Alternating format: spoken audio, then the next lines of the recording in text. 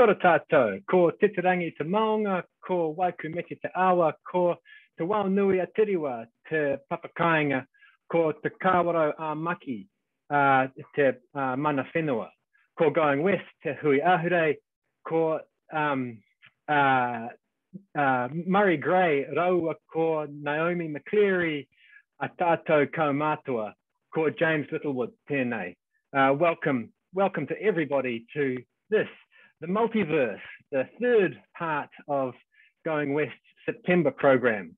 Um, as you may know, we've got four shows this year, and this is uh, the second of those four shows, more coming up in October and November. Um, we're streaming to you tonight because we can't do it any other way. So welcome to my house and welcome to your house. Um, uh, my usual shout out to the Waitakere Rangers local board, current chair Saffron Toms. We're absolutely uh, hugely grateful for their support for us over the years. Um, they love people coming together in Titirangi, West Auckland to celebrate the word. And uh, we love enabling that. Um, and so, yes, if you do too, then I have to draw your attention to the donate button at the top of our website. Um, anything you can spare us will be greatly and humbly received.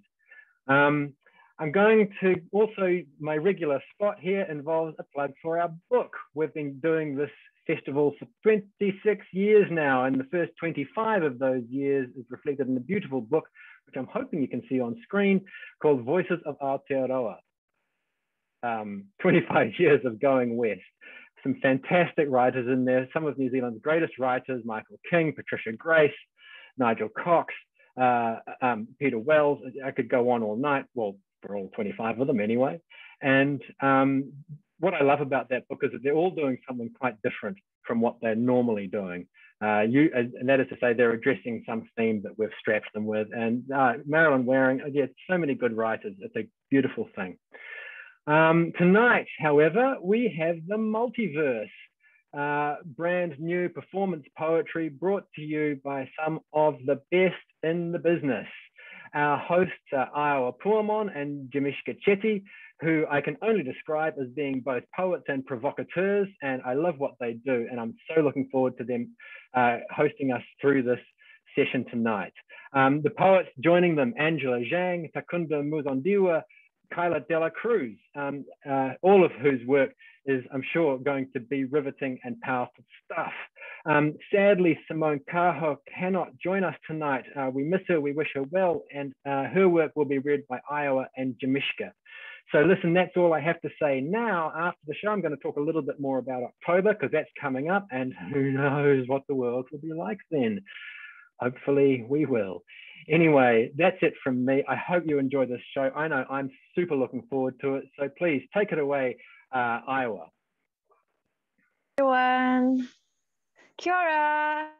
My name is Aiwa, and today I am the host together with my good friend Gemishka. We're both from Creative Creatures, an arts collective featuring um, women of color and non binary uh, gender queer community. And today we have so many amazing poets to bring you straight to your homes. Our theme for the night is resistance. And we are going to bring you a multiverse, multiple universes of resistance straight to your screen. So is everyone excited? I am. Wow. So let's introduce our first poet. Her name is Angela. Angela Zhang is a writer and performer based in Tamaki, Makaurau, whose work explores migrant and queer experiences a geotechnical engineer by trade, they are interested in the connection people have with the land and the built environment, as well as the supernatural and uncanny in the constructed world. Angela has performed in scenes from A Yellow Peril, I Am Rachel Chu, and other Chinese. Please welcome Angela. Kia ora. Thank you so much, Aiwa. Um, and thank you all so much for tuning in tonight. I will be reading three poems. The first is called Aiwa and Gemishka have asked me to write a poem about resistance. I want to write a poem about resistance, but I'm worried that people won't find it funny. I want to write a poem about resistance, but I'm taking medication that makes my heart beat very fast, and I'm tired all the time. Yesterday, I nearly fainted after my lockdown walk. I slumped down onto somebody's front lawn as if to sniff the grass, but quickly got up and brushed myself off to avoid the oncoming dog walker. I want to write a poem about resistance, but I feel like a fake poet. Real poets can generate content on command, get things down on a page before their self censor kicks in and they cross it all out. I want to write a poem about resistance, but I'm so worried about writing something bad that I've been putting this off for weeks. In that time, my monstera has grown a new leaf, another layer of dust has settled on the floor, and the souffle has bubbled over. I want to write a poem about resistance, but I can't get out of bed. And I left the laundry in the washing machine overnight, and we have no food. And I ran out of gas on the Northwestern motorway. I want to write a poem about resistance, but I need to go to work and make money. Our remuneration reviews are coming up, and I don't know if I have met my productivity target. Does it take sick leave into account? Is it before or after holidays? Do they know that I keep a toothbrush under my desk, that I've been sleeping in the office? I want to write a poem about resistance, but I just vomited. I think cleaning it up will make me vomit again, so I will just watch it congeal. I want to write a poem about resistance, but I keep getting distracted by cute cat videos. I don't know how to talk to people anymore. I only know how to dry heave and watch a frog in a tiny hat practice witchcraft. I want to write a poem about resistance, but I spent all day building up to it, and now it's time to sleep. I didn't think about anything else today. I didn't experience any joy today. I want to write a poem about resistance, but I just want to have fun. I know other people have fun, don't they? I want to write a poem about resistance, but I'm traumatized beyond belief. And Brian Tamaki still thinks that gay people cause earthquakes, and the magnolia tree is shedding petals on my lawn. I want to write a poem about resistance, but I'm just focusing on existence. Cool. My second poem is called How I Lost My Cultural Virginity. The moment I stepped foot in New Zealand, is when white culture began to impregnate me. New Zealand is a colonial bathtub full of semen, trim milk, and pavlova mix. A dash of Esso, no MSG, thank you. We only eat salt here. How many different shades of beige do you have to mix to make a white person? And how long does it take to bleach yellow skin? I have a suspicion that you have to bathe in alkaline until your flesh peels off. We are all white underneath. No boner, just a bone. My mum thinks that virginity is precious. Your culture of virginity is lost only once. White culture is the ultimate STI. Be safe, use protection. Here, take these Confucius sayings and put them in your wallet. Chinese classes of protection. The Chinese community is birth control. Date a nice Chinese boy, and on your wedding night, he will fuck the white out of you. I was 19 when I noticed that I was pregnant. At first, I thought it was an immaculate conception, my hymen a bamboo ceiling. I never felt white come in me. I just felt it all around me. But I knew I'd been knocked up somehow, an unwitting, unwilling suspect. I had cravings. I would wake up in the middle of the night. Bring me a Kiwi Asian friend. I would throw up in the morning, mimosas, craft beer, and protein shakes. My stomach got bigger as my appetite for the New Zealand accent grew stronger. Fatigue set in as my body took on a chalky pallor. I ate hot pot until I became a melting pot. I fed my embryo integration until it drowned in assimilation. I dredged up its bones and laid it to rest, returned it to this foreign land, planted white lilies on a marble grave.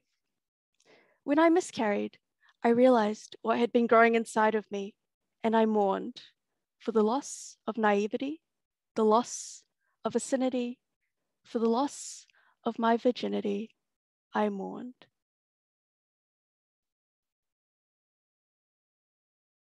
Cool. And the final poem I will be reading tonight is called Red. The worn plush of a cinema chair, the smooth pen strokes of a bad grade, red sunsets, red strobe lights, lipstick and chipped nail polish. Chinese New Year, firecrackers and red envelopes, a flag with yellow stars, weddings and the family unit, filial piety and good fortune, a dream of red mansions. Roof tiles placed on a house, a red Suzuki Swift parked on the lawn, a red feature wall, redwood deck chairs, a brick chimney, strawberry jam and some cordial, and a red diary inscribed with red angst. Red angst and love hearts she has, red shoes and warm lips, flushed cheeks and bloodshot eyes. She is shared wine and a number three billard ball, the cherry on top, YouTube and Netflix, silk pajamas and a maroon duvet, the CityLink bus, beach pohutukawas, the New Zealand Symphony Orchestra, and the Auckland Art Gallery. I write with a red pen, words gush out from thin slit wounds. It's a diary stained with tears and blood. Wolves can smell red, blood and fear, the scent of hidden secrets, sweaty palms, fermented grapes, and a blood moon, like unearthing a body, uprooting a family tree. There is a gasp, then the sound of pages turning, and silence after the howl. It starts softly. Why are you like this? Is it a broken family? Bad parenting? One B8s in an all girls school? Too many red licorice sleepovers? It is disobedience. It is disrespect. It's because I hate my culture. Another lost daughter. It's because I talk back. And she sees red. Red is the color I spit when lips are split, when fist meets braces, when wrists are twisted. It's tough love, a bruised apple and a broken plate, a wallet with a single hundred dollar note, a bed against the door, a cabinet against the window, a red hot poker in hand guarantees safety. Get out. 滚蛋. If you slice me open, you will find lots of red. I bleed love, roses and candy hearts, red string and red guts. A pinata is made to break. A human is made to heal from fresh crimson to a deep burgundy. Cut stitch, hearts mend, and a red dawn heralds a new day. Thank you.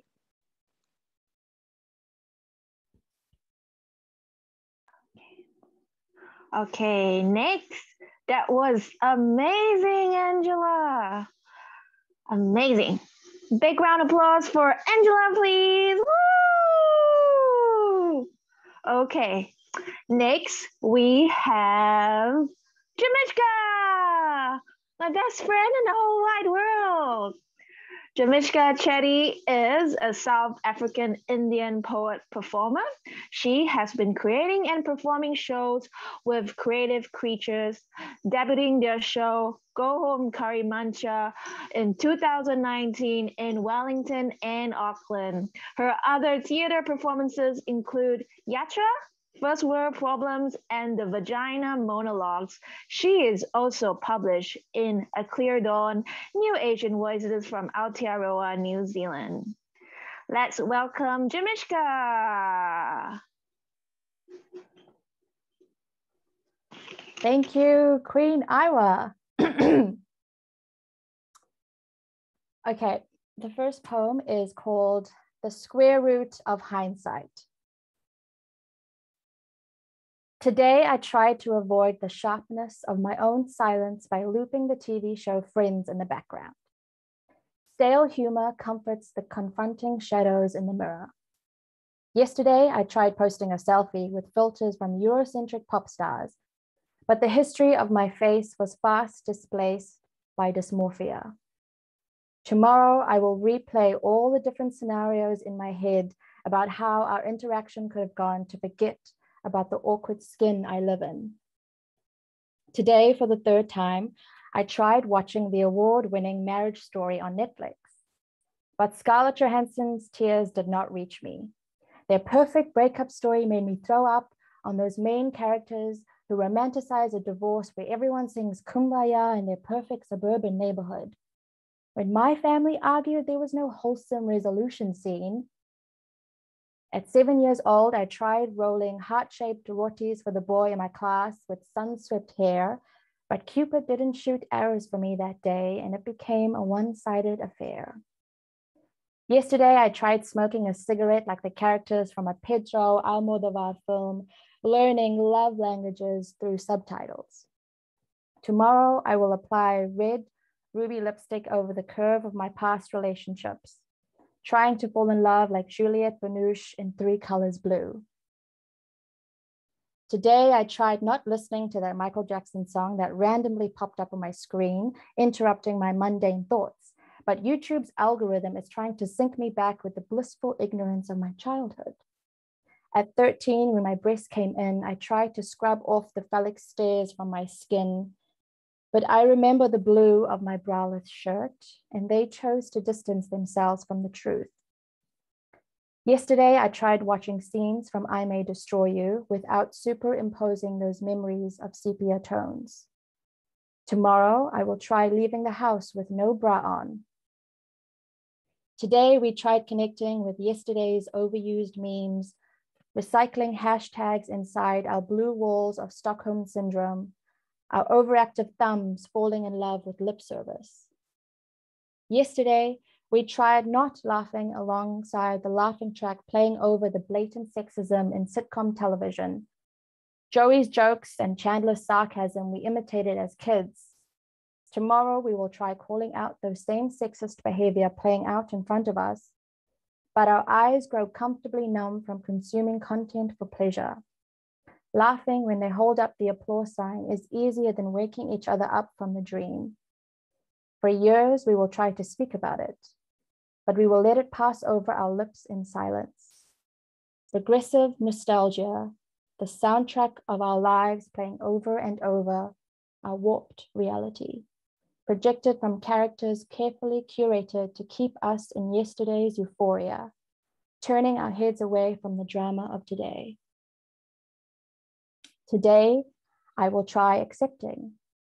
Yesterday, I tried to forget. Tomorrow, maybe I could forgive the guilt. But when the poem ends, I will try writing from the beginning all over again.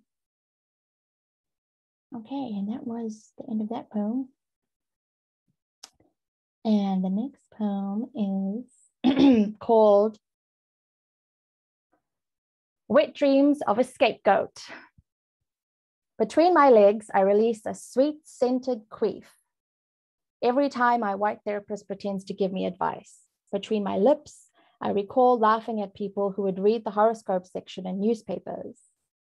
Between my eyes, I now listen to some YouTuber tell me that my moon sign in Capricorn means that I'm most compatible with the water sign or earth sign.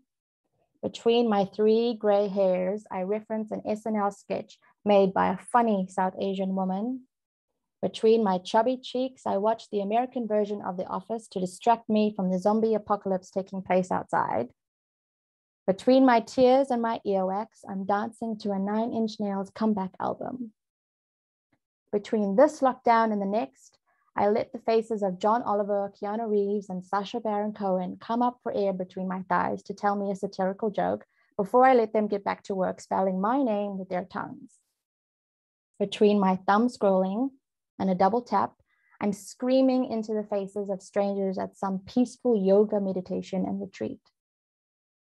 Between my God complex and my nervous breathing, I'm headbanging in the middle of a mosh pit at a Lady Parts rock concert.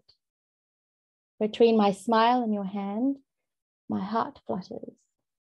Between my rejection from a funding application and me starting a new funding application, I wish for people to celebrate and appreciate the legacy of artists while they are still alive instead of waiting for them to pass. Between my PR status and my citizenship, I walk without the eyes of blame on my back every time one person who shares my complexion gets labeled a villain. Between my grandmother and me, the days of red carpets and celebrities are long forgotten, and corporate brands don't control our voices. Between my English and my Tamil, I give birth to slow paranoia over that world ending asteroid that I know is going to hit us any minute now. Between my Netflix account and my friend's Disney Plus account, I watch Love Island without a guilty conscience. Between learning a TikTok meme and posting that TikTok meme, I pause to ponder on how anyone is still releasing albums and creating art while we are all still in a pandemic. Come on, Drake, how can you put out another album about your fuckboy stages? Like, we get it. Between my uncle's funeral and my birthday, I want people to stop saying that they can't wait for things to get back to normal. Between being likable and rude, between your conversation and my comeback line, between your apology and my permission, between what you make me and my machete, between your dogma and my emancipation, between fallacy and diplomacy, between, between, forever in between. Thank you.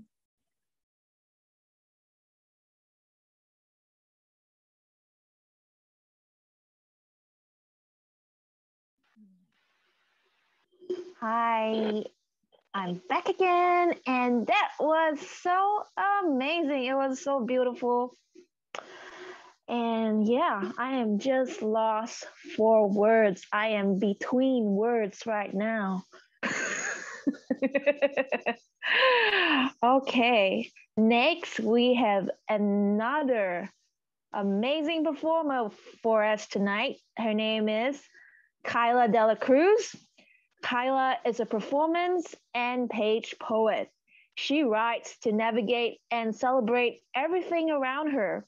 She started sharing her stories through the Word the Frontline Inter High School Poetry Slam program in 2014. Since then, she's been the runner up in the inaugural Justice Slam, a finalist in the New Zealand National Poetry Slam, and won the Rising Voices 2016 Grand Slam. Wow, so many credentials. Okay, let's welcome Kyla to the stage.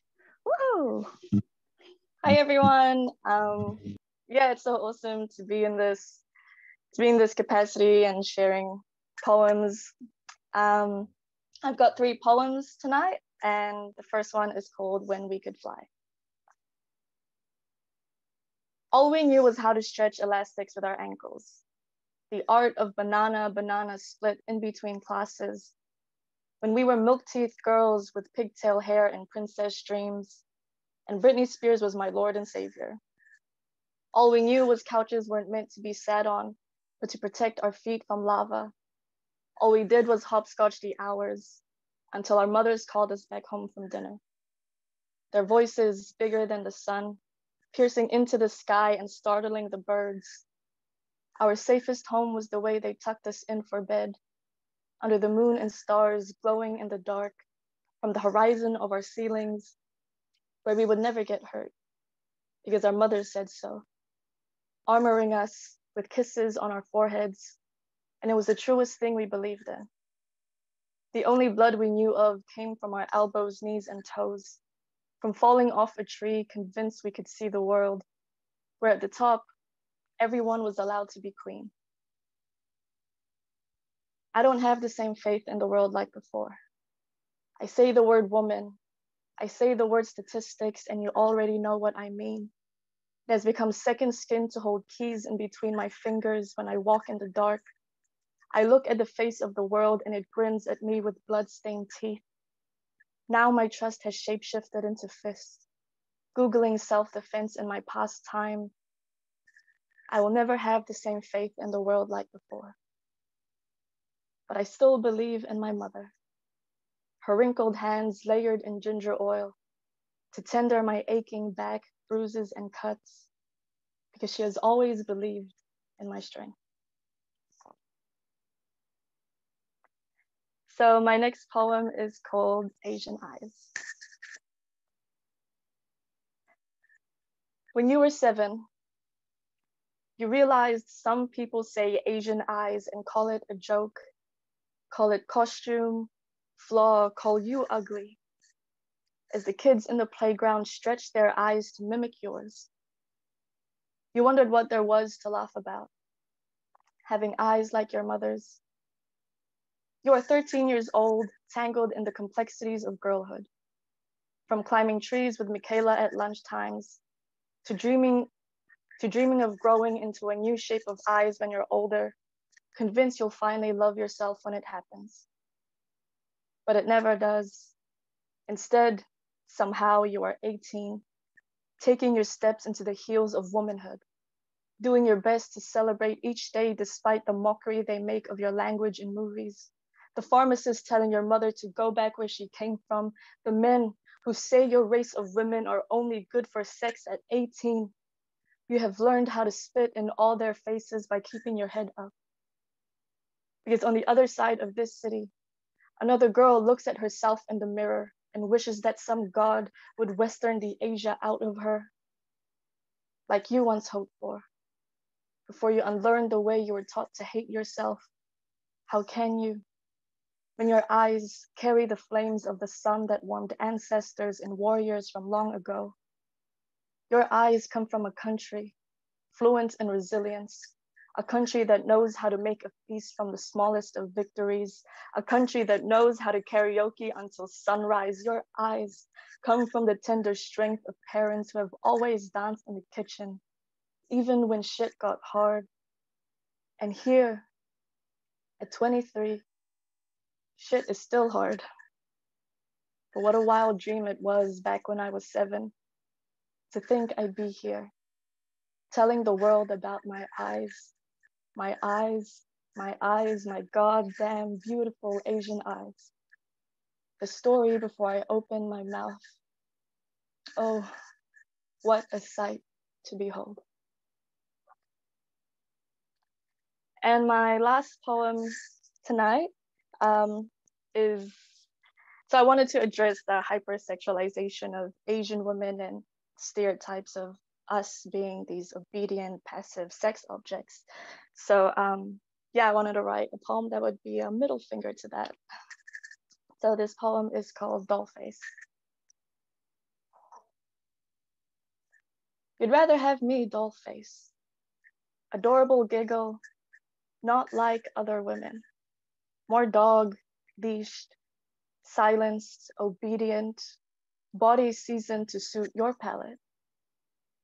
You want me to leave out the part of myself where I was born from Chief Lapu Lapu's sacrifice.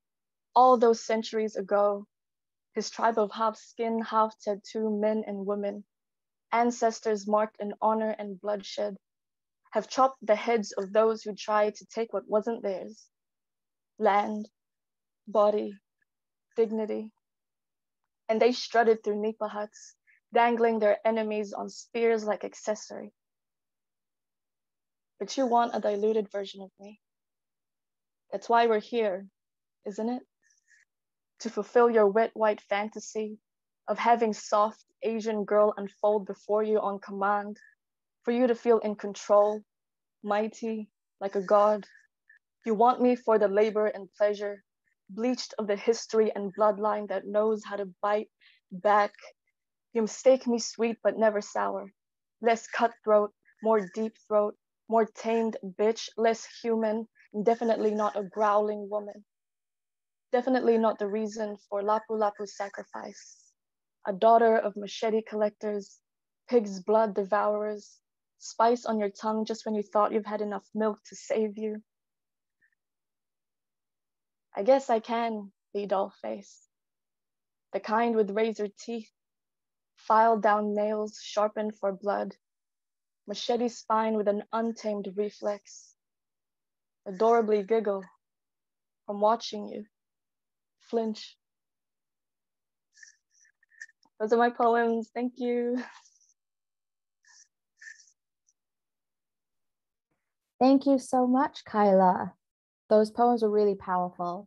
Um, so I'm Gemishka Chetty and I will continue the amazing work that Ira has done or try to and MC the next three poets.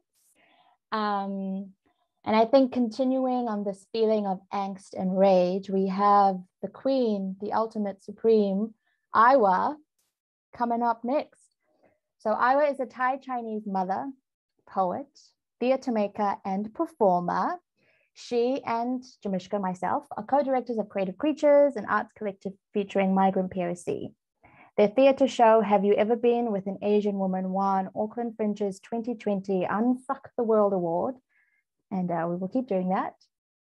With Aiwa's poems, she has been published in Landfall, Sport, and in the anthology A Clear Dawn, New Asian Voices from Aotearoa. Please give it up for Iwa. Thank you, Gemishka. So I wrote a few new poems and here it goes. The first one. My grandparents are dead. So I look after other people's grandparents. I look after this nanny. She has a giant vat of vapor rub. Massage it into my back, she says. It is paining. When I help shower her for the first time, I am awkward and shy. She says, Get in there. So I push the washcloth right up her. I look after this Nai Nai. She has different towels to wash and dry each part of her body. Our mornings are wrung and wrung out of us till we are bone dry like the Yangtze River. She says, 对不起 every time she has to go on the commode. While she is pooing, she tells me what to cook for lunch. 酸辣土豆丝，手撕包菜，芋头扣肉。Wash each cabbage leaf five times with baking soda and salt till it glows. We exchange poetry too. She recites to me Tang Dynasty poems I give her my contributor copies of Landfall, Sport, and A Clear Dawn, New Asian Voices from Aotearoa. That was the end of my first poem. thank you, thank you. So many claps. Ooh, standing ovation. Thank you. this next poem is called I don't want to perform for white people anymore. I don't want to perform for white people anymore. I'd rather jump off the Chao Phraya bridge with my dad because he keeps nagging me to. I don't want to perform for white people anymore because all white people are bad. I don't want to perform for white people anymore I'd rather masturbate at French Bay on a hot, sunny day next to Becky and Karen while they're having a picnic of champagne and strawberries. I don't want to perform for white people anymore. I'd rather put my job title as activist poet. Yeah. Okay, this next poem is called Rice. My dad forbids me to eat rice. You're too fat for a young woman. Watch the carbs. When we invite someone to eat in Thai, we say, Gin eat rice. But I am not allowed to. When my dad's asleep, I stand by the rice cooker in the dark shovel obscene amounts of rice into my mouth. Mm, pearl after pearl after pearl. Whew. Okay, this is the last poem.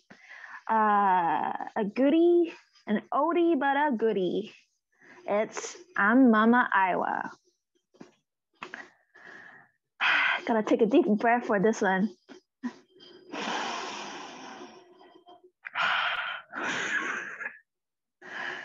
I'm Mama Aiwa, fresh off the boat girl. I'm Mama Aiwa, Thai Chinese wife. I'm Mama Aiwa, active on Tinder. I'm Mama Aiwa, late for a kindy. I'm Mama Aiwa, sit naughty corner. I'm Mama Aiwa. I don't cook pad thai. I'm Mama Aiwa. DJ Sailor Moon pot. I'm Mama Aiwa. No knit dick. I'm Mama Aiwa. Sacred yoni. I'm Mama Aiwa. Bitcoin energy.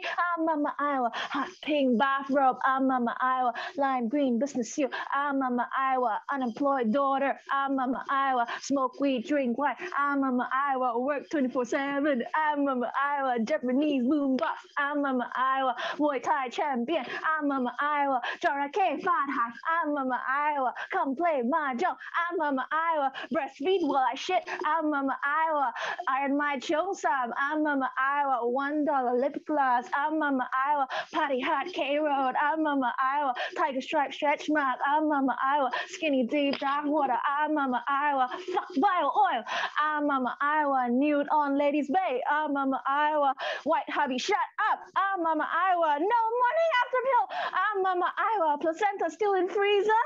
Ah, mama Aiwa, eat blood red fennel. Ah, mama Aiwa, feed me mangoes. Ah, mama Aiwa, child run wild. Ah, mama Aiwa, follow me on Insta. Ah, mama Aiwa, That's the end. Thank you.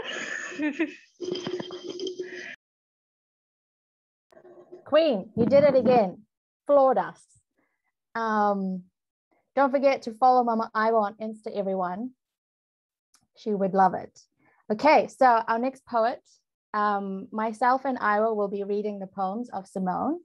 Simone is a journalist, writer, poet, and director. She has a master's degree in poetry from Victoria University International Institute of Modern Letters.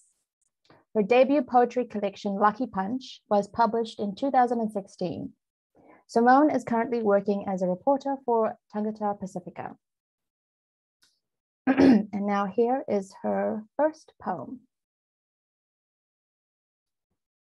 I don't cut, but I like the red marks left after my cat scratches me. I don't cut, but I like going to the dentist and opening my mouth, the shudders of the drill.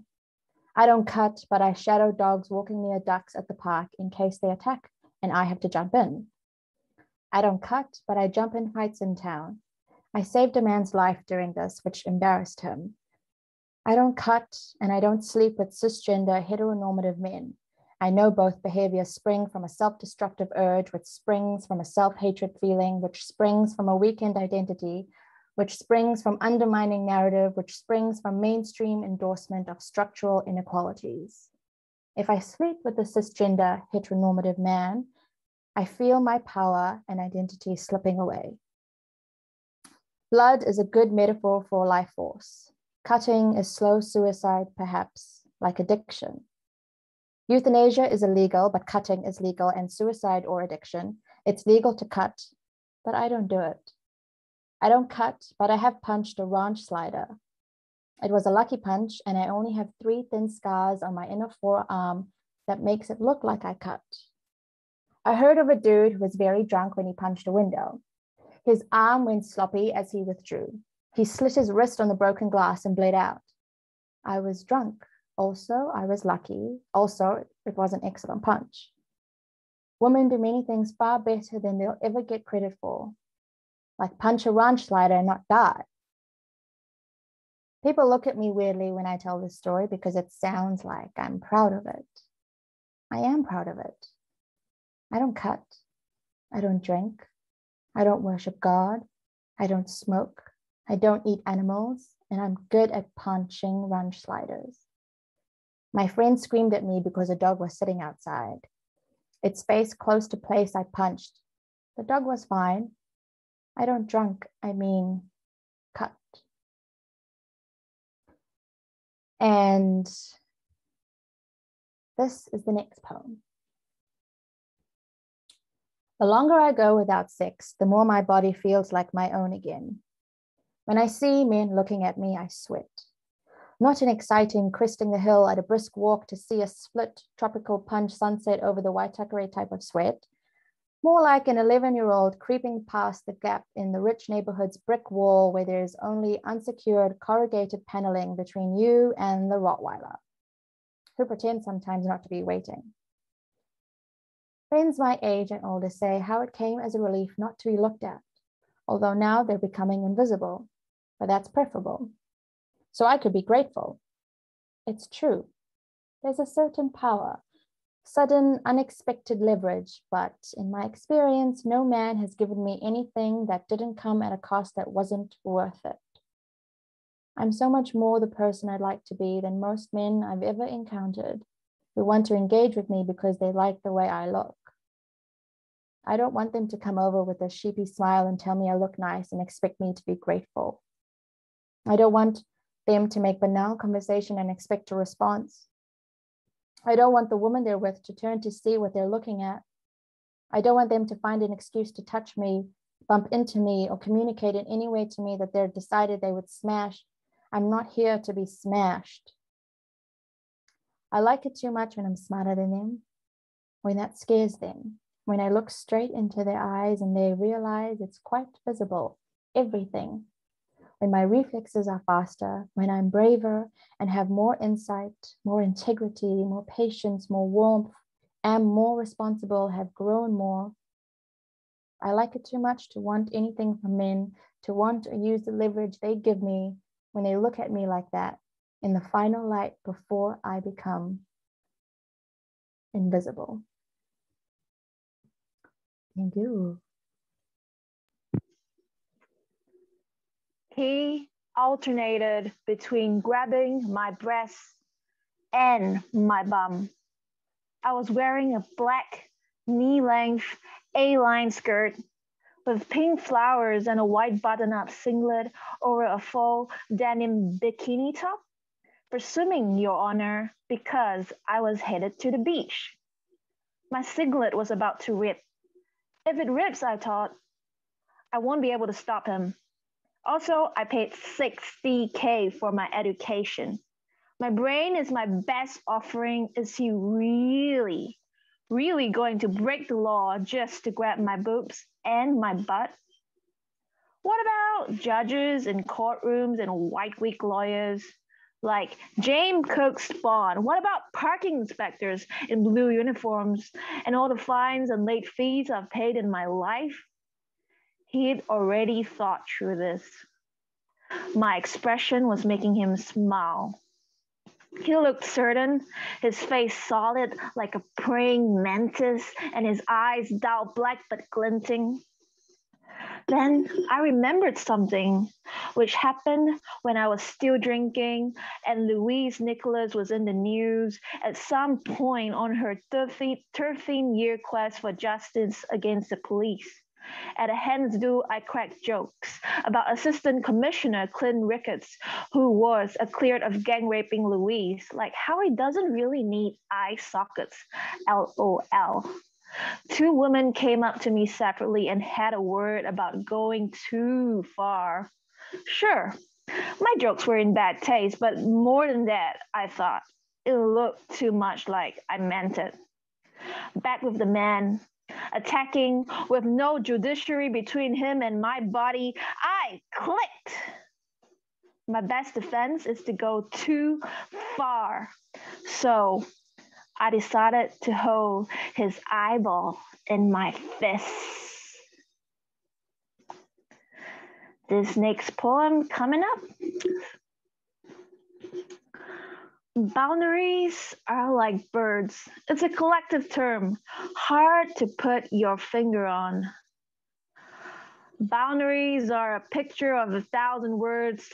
Boundaries are like recipes. Some can be worked out intuitively, some need each step followed with measuring instruments and a timer. Sometimes alarms go off when boundaries are broken. Sometimes straight away or decades later.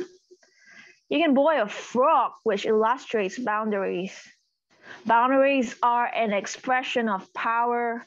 They are red flags for patriarchy and bullfighters who smears the blue, bull's eyes with Vaseline, kiss the bull as it dies, pretending to love and respect the bull, which is unnecessarily cruel. Animals are not allowed boundaries. Owners of tits and pussy have boundaries like the sea. Men hear it calling in the night they want to conquer it. Water wins when propelled by great violent forces. The sea is a training ground for boundaries. 80% of drowning deaths are men. It's sad that the metaphor of ambulances at the bottom of cliffs is so overused. The human body is made almost entirely of boundaries attuned to the swampy conditions which allow life in space. Women are animals, and so are men. We both breathe and feel men kill themselves more. Often, when I look at the sky, birds are in it. Seagulls are starving. That's why they're stealing fries, snatching them out of the air. The earth has boundaries. Can you feel them? It's like love, but also like being dead already with no boundaries against the soul. the last poem from Simone. I was action, righteous like Arthur, sliding the sword from the rock, but then I couldn't turn it off when men complimented me in a would smash way or touched my back, shoulder, upper arm. I wanted to kill them. Take a glass, bottle, mop, table, chair, and smash it in their face. Somewhere in my body, movement started, and I had to freeze. When the man in the pub didn't let go of my hand after shaking it, in some alternate reality, a glass sprouted from his head. My compass spun loose like in the labyrinth, the part where David Bowie walks upside down through stairwells. And you just want a girl to give up her brother for a moment and be held by him in the glass bubble he makes for her, where she can be perfect and eternal, forever spinning between his fingers. When David Bowie died, women my age posted everywhere that he was their first crush, his middle agedness outclassed by a billowing shirt, black rim elf king eyes, and the bulge in his soft gray pants. All strategic production choices. I watched a documentary about Labyrinth and read the account of a 13 year old groupie, Bowie deflowered. And that's the end of Simone's poems. Intense, but so good.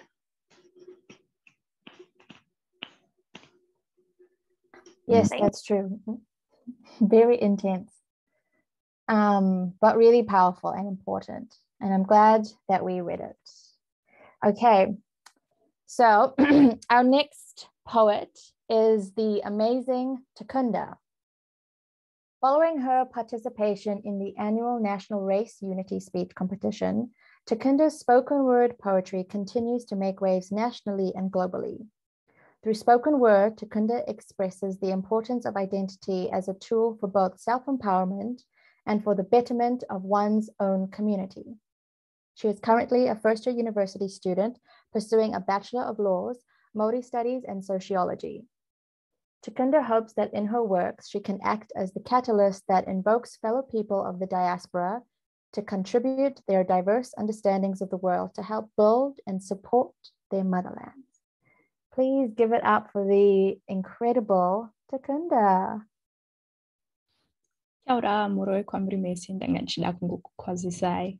Um, hello, yes, my name is Takunda, and I'm just going to do three quick poems for you. And in the spirit of lockdown, um, that's what this first poem is about. So here we go.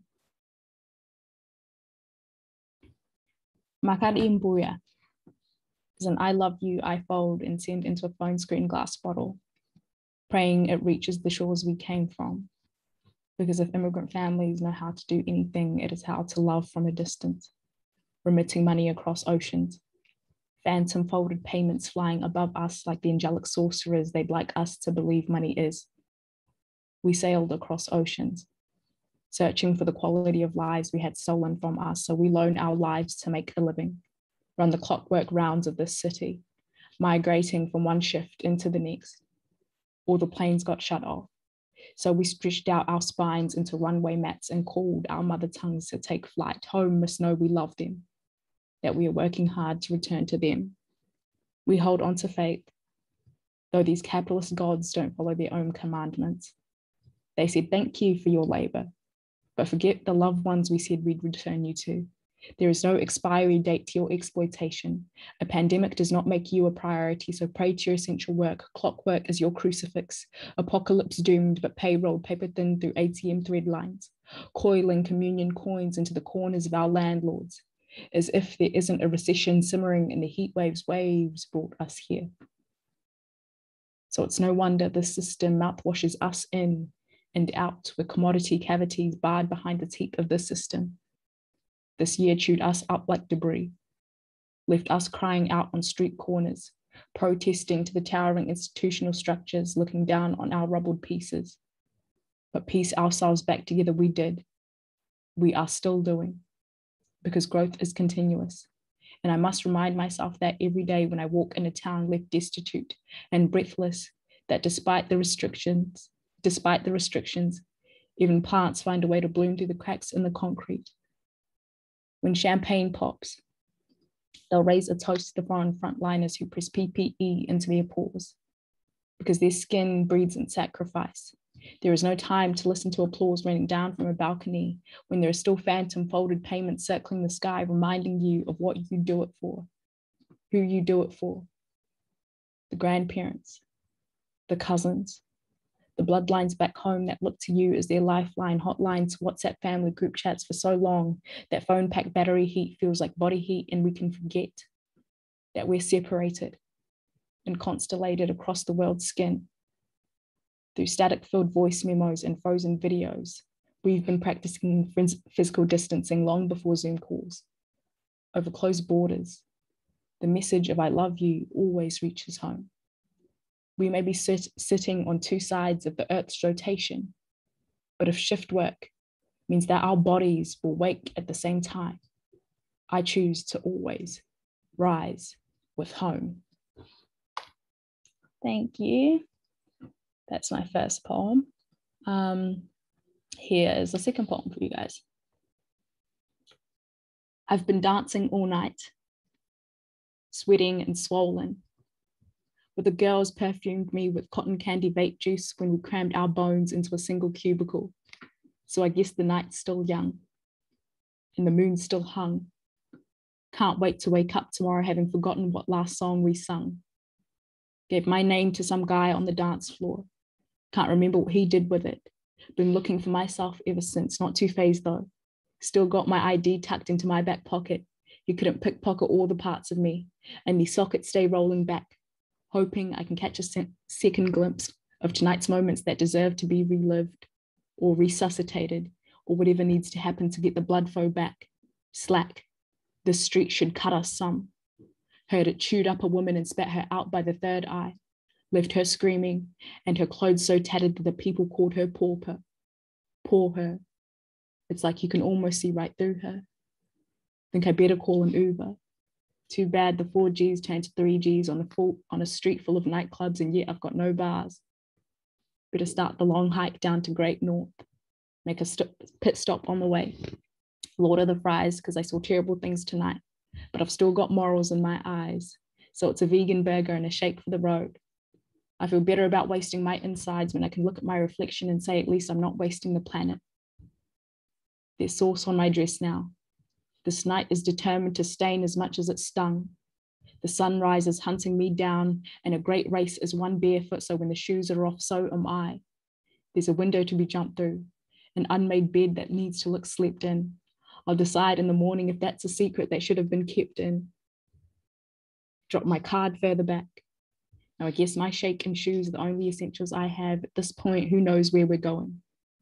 We'll keep walking till the midnight returns or restores or whatever needs to happen to get the sensation back track.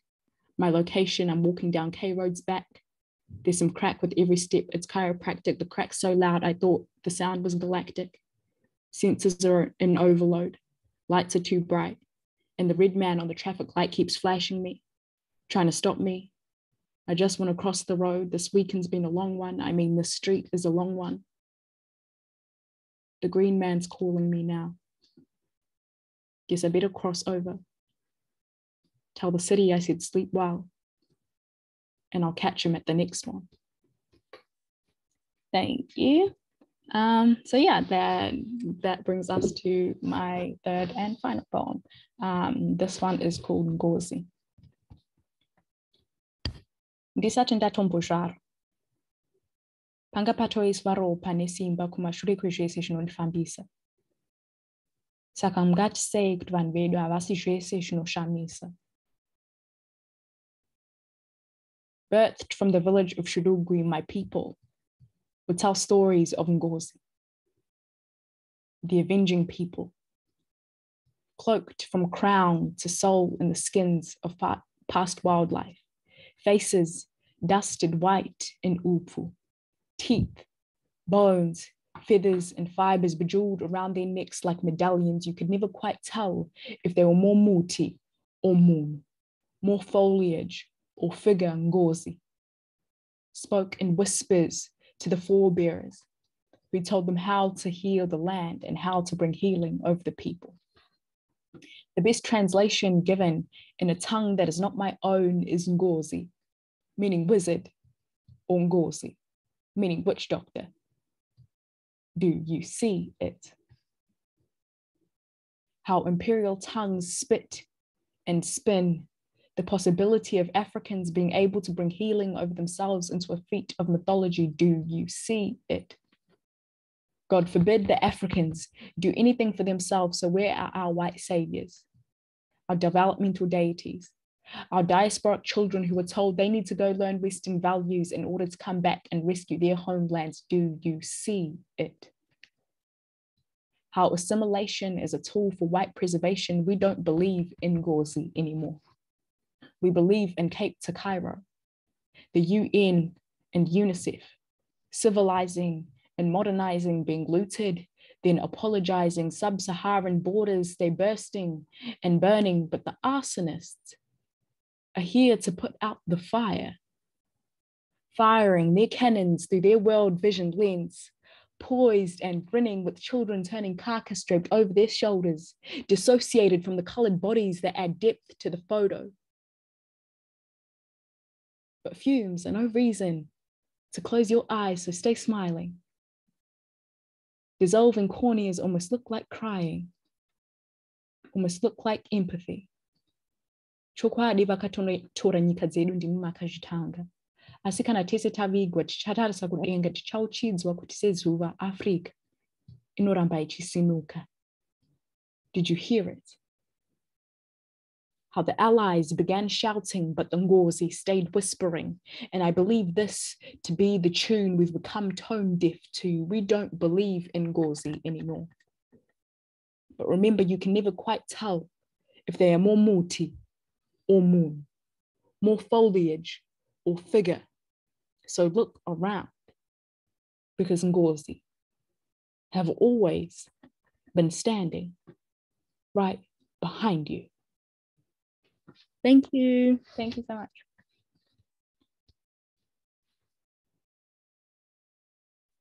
Thank you, Takunda. That was so beautiful. Um, as always. So thank you. That is all of the poems for tonight, family. Um, thank you, audience, for joining us at home, whoever you are, wherever you are, whatever you're doing, whatever you're wearing. Um, thank you for your virtual snaps. Um, thank you to the poets, Angela, myself, Aiwa, Kyla, Takunda, and Simone. Um, I hope this inspires you guys at home to maybe create something destroy it and create it again and um, just turn to each other and show love and laughter because that's what we need. Um, it sucks that we couldn't perform in front of an audience because everyone's poems and everyone's words are honestly so powerful. But thank you to Zoom for um, helping us in this uh, apocalypse. Um, yeah, thank you to Going Going West Festival. I don't know who else. Thank you to my mom for creating me. Um, and yeah, I hand it over back to James. Vibes. Thanks, Gemishka. And let me reiterate also the thanks you gave to you poets. You know, um, when we thought about the program for this, we had to make some really tough calls. Um, and we didn't, sadly, we didn't get to put the whole program we were hoping together to tonight. Um, but we felt very strongly that we wanted to finish these three sessions with something that was uh, went beyond the discursive. Someone who knows far more about everything than I do, but whose name has escaped me, said that uh, a novel was uh, the right words in the right order, and that poetry was the best words in the best order. And the words that I heard tonight um, certainly affirm that pithy little statement. Uh, your, your, words tonight were so, so uh, powerful. And, and at a time like this, when we're, you know, literally isolated, it just, well, I know it did me a huge amount of good to hear what you women had to say. And I'm really, really deeply grateful to each of you. And I'm also grateful to the audience, of course, that we have at home for, for listening into this. Um, so on utterly more pragmatic levels, that's it for going west in September. Um, all we know is that we're going to do something else around the 13th of, no, sorry, the 9th of October. Um, yeah, that's our advertised date. I mean, for September, our advertised date was the um, uh, was Saturday. What was that? The 11th. Here we are, still going on the Monday. Uh, so, what the alert levels are going to be on the 9th of October, I don't bloody know. We have plans, though. of that, I can assure you. And uh, so, we'll be here. We might be doing it like this. We might be doing it a little bit differently. But either way, you can find out simply by keeping in touch with us on our email uh, or through social media. And, um, and, and you can take it from me, we'll be either, if, if, if, there's a, if there's a miracle, then we'll be in person up at Lopdell House. Wouldn't that be amazing? But we've got other plans in place for other alert levels. So don't worry, we're here. Um, and oh yeah, if you've liked what you saw tonight, I would just remind you once again that we have a donate function on the website. And if you can share anything with us, that will be gratefully received. Otherwise, that's it from me, and that's it from Going West until October. So, once again, thank you each and every one of the poets, and also to you guys at home and to all our supporters. Take care, be safe, and we'll see you in a month's time. Ka kite.